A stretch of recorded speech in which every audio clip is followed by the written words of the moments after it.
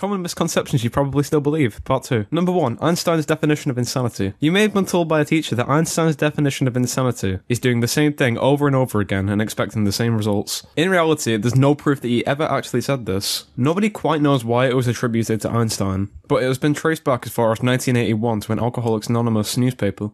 Number 2. Christopher Columbus discovered the modern day United States. Although Columbus made several trips to the Americas, he never actually set foot in North America, and instead discovered the modern day Bahamas. Number 3. On a similar note to the last one, it is often believed that Columbus set out to disprove that the Earth was flat. In reality, people have known that the Earth is spherical since at least 500 BC. Number 4. Black holes suck everything in around them. Although black holes do suck matter in, this only happens once an object passes what is known as the event horizon. Number 5. Bats are blind. This likely comes from the fact that bats can navigate using sonar.